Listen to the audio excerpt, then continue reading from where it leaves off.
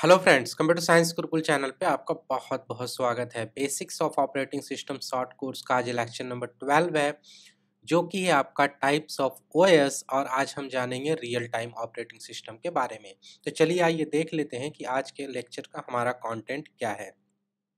सबसे पहले हम बात करेंगे टाइप्स ऑफ़ ओएस, जैसा कि मैंने आपको कई लेक्चर में बताया हुआ है फीचर और फंक्शनलिटी के बेसिस पे हम लोग ओएस को कैटेगराइज करते हैं और वही आपका टाइप्स ऑफ़ ओएस कहलाता है। तो रिकैप करेंगे और जानेंगे कि कितने तरह के आपके ओएस हैं। उसके बाद फिर हम बात करेंगे टू इंपॉर्टेंट कॉन्सेप्ट की। एक है आपका प्रोसेस टाइम दूसरा है आपका रिस्पॉन्स टाइम तो प्रोसेस टाइम और रिस्पॉन्स टाइम के बारे में बात करेंगे। उसके बाद बात करेंगे रियल टाइम सिस्टम के बारे में कि रियल टाइम सिस्टम आपका क्या होता है। और फाइनली बात करेंगे हम लोग रियल टाइम ऑपरेटिंग सिस्टम की और साथ ही साथ देखेंगे आपका कि कितने तरह का आपका रियल टाइम ऑपरेटिंग सिस्टम होता है। तो अगर आपको ये सारा कुछ जानना है तो आप इस पूरे वीडियो को शुरू से लेकर के लास्ट तक ध्यान से देख सकते हैं। मेरी आपसे एक रिक्वेस्ट है अगर आपने अभी तक मेरे चैनल को सब्सक्राइब नहीं किया है तो सब्सक्राइब बटन को प्रेस करके, बेल आइकन के बटन को आप प्रेस कर दीजिए, ताकि ताकि नोटिफिकेशन आपका ऑन हो जाए। तो चलिए स्टार्ट करते हैं इस लेक्चर को। सबसे पहली बात करते हैं कि आपके ओएस कितने तरह के होते हैं, और ये मैं बार बार आपको बताता चला आ रहा हूँ कि जो ऑपरेटिंग सिस्टम होता है आपका, उसको फंक्शनैलिटी, फीचर्स के बेसिस पे कैटेगराइज करते हैं, और वही कैटेगरीज आपकी कहलाती है टाइप्स ऑफ़ ओएस तो हम लोगों ने देखा बैच ऑपरेटिंग सिस्टम के बारे में टाइम शेयरिंग ऑपरेटिंग सिस्टम के बारे में डिस्ट्रीब्यूटेड ऑपरेटिंग सिस्टम के बारे में नेटवर्क ऑपरेटिंग सिस्टम के बारे में, इन सारे ऑपरेटिंग सिस्टम के बारे में मैंने लेक्चर ऑलरेडी बना रखा है। अगर आपने उसको नहीं देखा है तो आप डिस्क्रिप्शन में लिंक चेक कीजिए प्लेलिस्ट पे जाइए और इन सारे लेक्चर को आप जो है देख सकते हैं। आज का जो हमारा लेक्चर है, वो फोकस्ड है हमारा रियल टाइम ऑपरेटिंग सिस्टम के बारे में। तो आज हम लोग basically real time operating system के बारे में जानेंगे। तो सबसे पहले आइए देखते हैं कि प्रोसेस टाइम प्रोसेस टाइम आपका क्या होता है? इसको समझना बहुत ज़रूरी है ताकि आप जो है रियल टाइम ऑपरेटिंग सिस्टम या रियल टाइम सिस्टम के बारे में समझ पाए। तो देखिए, जब भी आपका कोई सिस्टम होता है और आप उसको टास्क देते हैं तो उसमें एक प्रोसेसिंग का टास्क होता है आपका यानी प्रोसेसिंग टाइम होती है और बाकी उसके साथ और टाइम भी इन्वॉल्व होता है। तो जो मेन उसका प्रोसेसिंग का टाइम होता है, जितने टाइम वो उस टास्क को प्रोसेस कर रहा होता है वो system that is called process time अब आइए देख लेते हैं कि रिस्पॉन्स टाइम आपका क्या होता है। उसके बाद प्रोसेस टाइम और रिस्पॉन्स टाइम में आपको डिफरेंस पता चल जाएगा। रिस्पॉन्स टाइम क्या होता है कि जब आप कोई सिस्टम होता है उसमें आपको कोई टास्क करवाना है तो आप उसको क्या करते हैं, एक इनपुट देते हैं। उस सिस्टम को आपने क्या किया, एक इनपुट दिया तो यहाँ से जो टाइम स्टार्ट होता है, और वो सिस्टम आपको फाइनल आउटपुट जब देता है, उस इनपुट के करेस्पॉन्डिंग तो वो आपका कहलाता है रिस्पॉन्स टाइम। यानी इनपुट देना और आउटपुट मिलना। इन दोनों के बीच का जो टाइम इंटरवल होता है आपका, वो कहलाता है आपका रिस्पॉन्स टाइम। और रिस्पॉन्स टाइम में आपका हर टाइम कैलकुलेटेड होता है और हर टाइम इन्वॉल्व होता है। और रिस्पॉन्स टाइम के अंदर में ही आपका होता है क्या? Process time. यानी रिस्पॉन्स टाइम इंटरवल का वो पार्ट जो सिस्टम उस टास्क को प्रोसेस करने में लगा रहा है, that is called process time. तो होप आपको क्लियर हुआ होगा कि प्रोसेस टाइम और रिस्पॉन्स टाइम क्या होता है। बेसिकली हम लोग बात करते हैं रिस्पॉन्स टाइम की और प्रोसेस टाइम की जब भी रियल टाइम ऑपरेटिंग सिस्टम के बारे में बात आती है। तो अब चलिए आइए बात करते हैं रियल टाइम सिस्टम के बारे में। और एक चीज़ मैं आपको बता दूँ real time system real time operating system ये वर्ड आपका इंटरचेंजेबली यूज़ होगा, क्योंकि आपको पता है कि सिस्टम का मतलब computer real time operating system का मतलब क्या हो गया? उस सिस्टम में जो भी ऑपरेटिंग सिस्टम पड़ा हुआ है तो रियल टाइम ऑपरेटिंग सिस्टम या रियल टाइम सिस्टम आप इसको इंटरचेंजेबली यूज़ कर सकते हैं। तो रियल टाइम सिस्टम क्या होता है?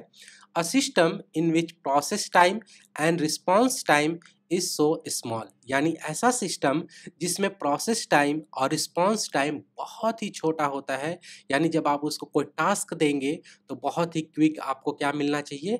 रिस्पॉन्स मिलना चाहिए। That system is called real time system और आपका जो, ये जो रिस्पॉन्स टाइम है और जो आपका प्रोसेस टाइम है, वो स्मॉल इसलिए होना चाहिए कि ज़्यादातर जो रियल टाइम सिस्टम्स होते हैं, वो आपके इन्वायरमेंट को कंट्रोल कर रहे होते हैं और उनके आउटपुट के ऊपर बहुत सारी चीज़ें डिपेंडेंट होती है कंट्रोल कर रही होती है, इसलिए वहाँ पे प्रोसेस टाइम और रिस्पॉन्स टाइम स्मॉल होना चाहिए। आगे हम लोग एग्ज़ाम्पल भी देखेंगे कुछ रियल टाइम सिस्टम के बारे में तो आपको पता चल जाएगा कि किस तरह से रियल टाइम सिस्टम्स जो है इन्वायरमेंट को कंट्रोल करती है।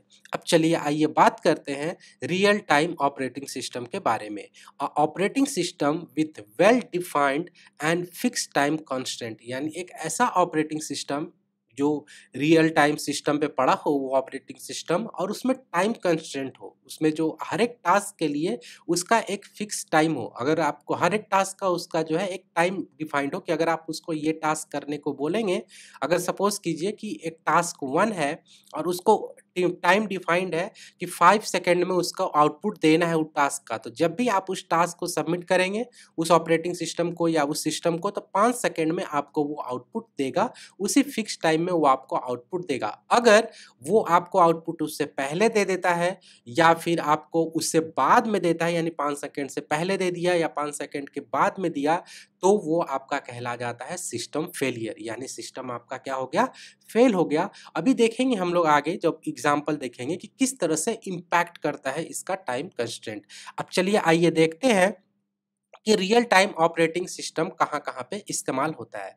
साइंटिफिक वर्क के लिए आपका जो है रियल टाइम ऑपरेटिंग सिस्टम इस्तेमाल होता है? Scientific work in the sense कि जो नासा वगैरह में जो बहुत सारे काम होते हैं, बहुत सारे ऑपरेटिंग सिस्टम होते हैं, वहाँ पे आपके रियल टाइम ऑपरेटिंग सिस्टम का इस्तेमाल किया जाता है। रोबोटिक्स रोबोटिक्स में आपको पता है कि ये भी आपका रियल टाइम ऑपरेटिंग सिस्टम उसमें इस्तेमाल होता है, क्योंकि रोबोटिक्स क्या होता है? कुछ काम कर रहे होते हैं वो तो अगर उनमें टाइम जो है फिक्स नहीं होगा तो आपका सिस्टम फेलियर हो जाएगा। फॉर एग्ज़ाम्पल सपोज़ कीजिए कि एक रोबोटिक्स है, वो इंस्ट्रूमेंट यानी मैनेजमेंट इंस्ट्रूमेंट मैनेजमेंट सिस्टम में लगा हुआ है, यानी वो क्या करता है, सामान को एक जगह से उठाता है, दूसरे जगह पे रख देता है वो रोबोटिक्स, रोबोट और अगर उसका जो है, सामान उठा करके एक जगह से दूसरे जगह के रखने का अगर उसका टाइम मिसमैच हो गया, यानी वो ज़्यादा ले लिया या कम ले लिया तो साथ में और रोबोटिक्स जो होंगे, उसके वो क्या होंगे, आपस में एक दूसरे से टकरा सकते हैं, सिस्टम क्रैश हो सकता है तो इस तरह से टाइम कंस्टेंट बहुत ही इंपॉर्टेंट है। नेक्स्ट एग्ज़ाम्पल है आपका traffic control system traffic control जो सिस्टम आपने देखा होगा, जो सिग्नल लगे होते हैं, red colour, green colour, yellow जो आपकी बत्ती जलती है, वो ट्रैफ़िक कंट्रोल, वहाँ भी आपका जो है रियल टाइम ऑपरेटिंग सिस्टम यानी आरटीओएस का वो एग्ज़ाम्पल है। आप सपोज़ कीजिए कि उनको जो टाइम दिया जाता है कि एक मिनट में जो है ग्रीन रहना है, एक मिनट जो है रेड रहना है, अगर वो उस पर्टिकुलर टाइम पे नहीं रहेगा, अगर पहले कर दिया या बाद में कर दिया तो क्या होगा? ट्रैफ़िक पूरा मिस हो जाएगा। इसलिए टाइम कंस्टेंट बहुत एग्ज़ाम्पल है। जो इंपॉर्टेंट है मेडिकल सिस्टम्स जो एक्सरे मशीन हो गई या जो आपका स्कैन वगैरह होता है, वो सब में आपका आर टी इस्तेमाल होता है और वहाँ पे टाइम बहुत ही इंपॉर्टेंट है। इंडस्ट्री में बहुत सारे कंट्रोल सिस्टम होते हैं, जैसे सायरन के लिए हो गया या और सारी चीज़ों के लिए हो गया। तो ये रियल टाइम ऑपरेटिंग सिस्टम के कुछ एग्ज़ाम्पल हैं। इसके अलावा भी बहुत से एग्जाम्पल्स होते हैं, वो आप एक्सप्लोर कर सकते हैं। अब चलिए आइए बात करते हैं कि आपका आर यानी रियल टाइम ऑपरेटिंग सिस्टम कितने तरह का होता है। बेसिकली ये दो तरह का होता है। फ़र्स्ट होता है आपका हार्ड रियल टाइम सिस्टम, दूसरा होता है आपका सॉफ्ट रियल टाइम ऑपरेटिंग। अब चलिए आइए देखते हैं कि hard real time operating system या हार्ड रियल टाइम सिस्टम क्या होता है। हार्ड रियल टाइम जो आपका ऑपरेटिंग सिस्टम होता है, इसमें जो टास्क कंप्लीट होता है, वो फिक्स टाइम में हो जाना चाहिए। यानी अगर उसको पाँच सेकंड में करना है तो पाँच सेकंड में ही होगा। That is called hard real time system. वैसे तो रियल टाइम सिस्टम का डिफिनीसन ही यही है कि सारे काम जो है एक फिक्स टाइम में हो जाने चाहिए।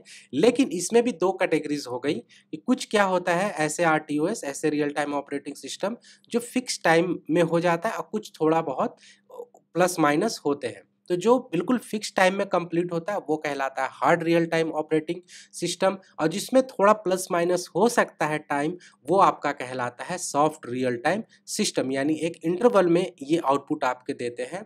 क्योंकि इसमें होता क्या है कि इसमें जो क्रिटिकल टास्क होते हैं, उसमें प्रायोरिटाइज कर दिया जाता है but hard real time system में ऐसा आपका नहीं होता है। उसमें हर एक टास्क जो है क्रिटिकल होता है और आपका ऑन द टाइम उसका आउटपुट होना चाहिए। तो होप आपको समझ में आया होगा कि रियल टाइम ऑपरेटिंग सिस्टम क्या होता है, उसके एग्जाम्पल्स आपको क्या देखने को मिलते हैं, कितने तरह का होता है। अगर आपको ये वीडियो अच्छा लगा तो आप इसको लाइक कीजिए, शेयर कीजिए, कमेंट कीजिए, ज़्यादा से ज़्यादा स्टूडेंट्स के बीच में शेयर कीजिए। और अगर आपने अभी तक मेरे चैनल को सब्सक्राइब नहीं किया है तो सब्सक्राइब बटन को प्रेस करके बेल आइकन के बटन को भी आप प्रेस कर दीजिए ताकि नोटिफिकेशन आपका ऑन हो जाए। Thank you for the watching.